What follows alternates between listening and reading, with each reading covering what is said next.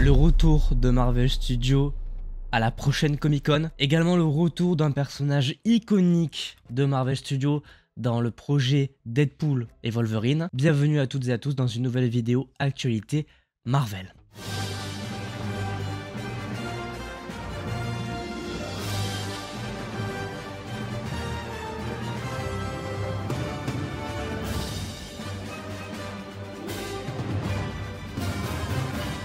Bonjour à toutes et à tous, j'espère que vous allez bien, vous l'avez compris, aujourd'hui on se retrouve pour évidemment parler des dernières actualités de Marvel qui sont sorties cette semaine. Comme pour les 4-5 dernières semaines, il n'y a pas énormément de choses à évoquer, mais c'est pas parce qu'elles sont peu nombreuses qu'elles ne sont pas intéressantes pour autant. Écoutez, pour commencer, parlons des petites euh, sorties qui sont prévues autour de Disney+. Petit à petit, on rattrape enfin la chronologie des médias du côté de la phase 4, puisqu'il faut savoir que l'intégralité des programmes de la phase 4 ne sont pas encore sortis sur le catalogue français. On s'approche de la fin puisque le 12 juillet, Black Widow va enfin rejoindre le catalogue français. Il ne manquera plus donc que Shang-Chi et Eternals qui devraient arriver normalement respectivement en septembre et novembre 2024. Et la même semaine, 7 jours après, on aura la sortie française sur le catalogue français du premier film de la phase 5, Ant-Man et la guêpe Quantumania. Pour ceux qui ne savent pas, la chronologie des médias a été réévaluée à partir du 1er janvier 2022. C'est pour ça que les programmes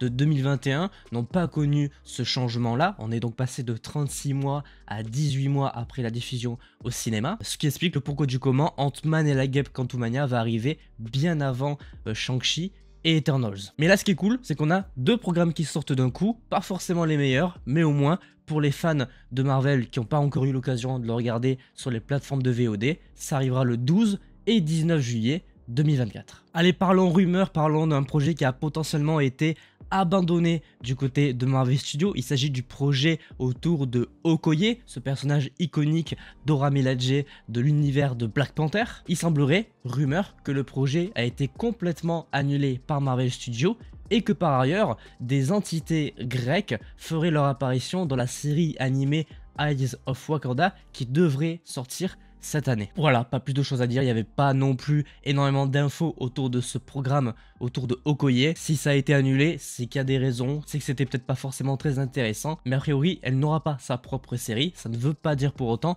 que le personnage ne reviendra pas, évidemment. Première photo de tournage enfin dévoilée du côté de la série Agatha All Along, qui je vous rappelle sortira dès le 19 septembre sur Disney+, avec deux épisodes la première semaine. Première image, voilà, qui a été dévoilée par Marvel Studios, on y voit différents personnages en train d'ouvrir une sorte de trappe qui donne peut-être sur une cave ou ce genre de choses. La promo commence petit à petit, il faut dire que septembre, ça arrive dans moins de 3 mois, donc il serait temps en effet de commencer à parler du projet. Un autre projet dont il était enfin temps de parler officiellement, Wonder Man. Kevin Feige a officiellement pris la parole pour la première fois pour parler de ce projet, parlant de cette série comme étant extrêmement différente de, tout ce qu'on a connu jusqu'à maintenant. Pour ceux qui ne le savent pas, Wonder Man c'est un personnage super-héros acteur dans les comics. Et en effet, c'est assez différent de tout ce que Marvel a pu proposer dans son panel de super-héros et super-vilains. On rappelle que c'est l'acteur Yaya Abdul Matin qui va interpréter le personnage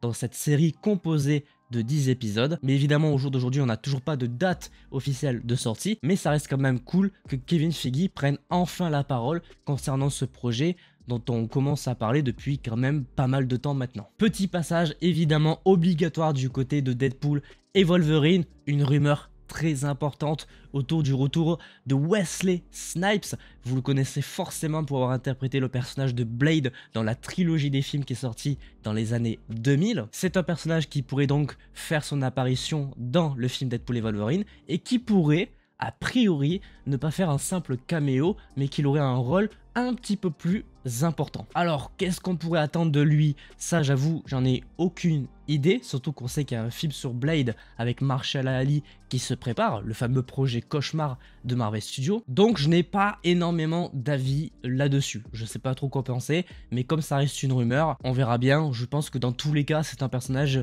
qui sera au moins mentionné. À titre personnel, j'avais adoré les films des années 2000, donc je suis curieux de voir ce qu'il pourrait proposer, même si c'est pas longtemps, euh, dans le film Deadpool et Wolverine. Mais ça, évidemment, on le découvrira maintenant dans un tout petit peu moins d'un mois, puisque le film sort le 24 juillet au cinéma en France. Je vais pas parler plus de Deadpool et Wolverine à partir de maintenant. Je n'évoquerai pas les prochains trailers qui vont sortir, les prochaines annonces de personnages. Je tiens à préserver les gens qui regardent ces vidéos pour ne pas les spoiler sur de gros personnages qui vont apparaître dans ce film-là, puisque la promo va s'accélérer et pour donner envie aux gens d'aller au cinéma, ils vont commencer, ils ont déjà commencé à dévoiler certaines choses. Et je tiens à me préserver évidemment aussi. Donc à partir de maintenant, on ne parlera plus de Deadpool et Wolverine si ça concerne l'arrivée, le retour de certains personnages. On se concentrera sur les news importantes. Dans tous les cas, ça sort dans moins d'un mois et croyez-moi, on va en reparler très souvent, à la fois dans les chroniques avec Marvel Cineverse et dans les vidéos critiques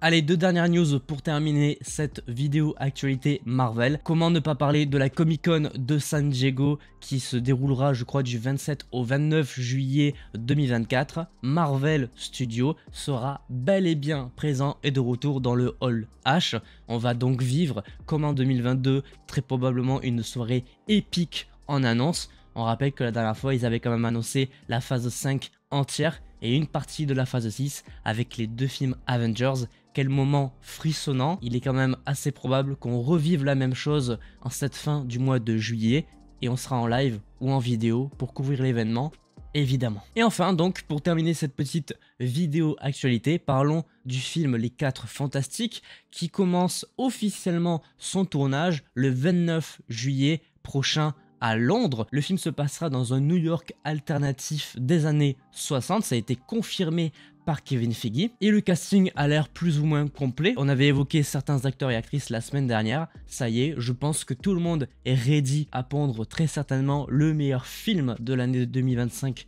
de Marvel Studios. Maintenant, il n'y a plus qu'à faire. Début du tournage le 29 juillet avec une sortie en juillet 2025. Et sur ce, voilà tout ce qu'il ne fallait pas manquer cette dernière semaine du côté des actualités autour de l'univers Marvel. Je vous donne évidemment, comme d'habitude, rendez-vous dimanche prochain pour parler des prochaines actualités autour de ce merveilleux univers. J'espère que cette vidéo, évidemment, vous aura plu. N'hésitez pas à laisser un petit pouce bleu si c'est le cas, à vous abonner, à activer la cloche pour ne pas manquer les prochaines vidéos. Et sur ce, évidemment, portez-vous bien. C'était votre Captain. À la prochaine.